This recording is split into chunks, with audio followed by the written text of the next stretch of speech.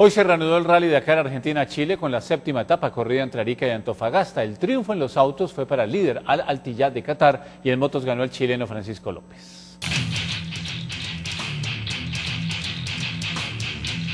La arena chilena hoy recibió la caravana del Dakar después de un día de descanso. Los 148 autos, los 69 camiones, las 188 motos y las 36 cuatrimotos volvieron a la competencia en un tramo que unió a Arica y Antofagasta.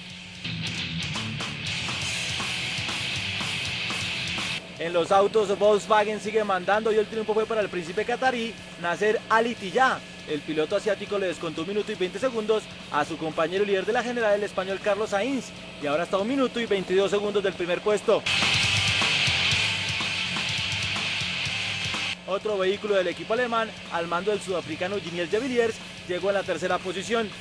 En las motos la gran noticia la dio el piloto local Francisco Chaleco López, quien conduciendo una Aprilia ganó la séptima etapa de este Dakar.